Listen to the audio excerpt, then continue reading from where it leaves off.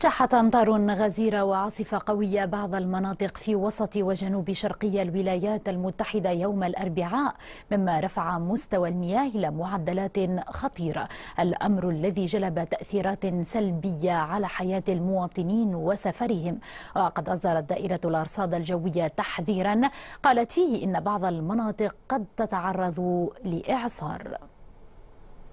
تعرضت ولايتي جورجيا وساوث كارولاينا لأمطار غزيرة يوم الأربعاء الفائت مما حول الشوارع في بعض المناطق إلى سيول جارفة ولتغمر الفيضانات العديد من السيارات في حين شارك رجال الإطفاء في عمليات الإنقاذ.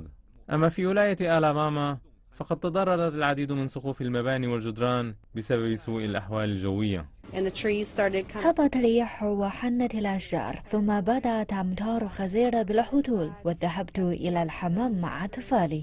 وإلى ذلك فقد تعرضت بلدة في ولاية ميسوري لزوبعة يوم الرابع من الشهر الجاري مما تسبب بأضرار جسيمة في مباني إدارة الإطفاء ومدرسة ابتدائية في المنطقة.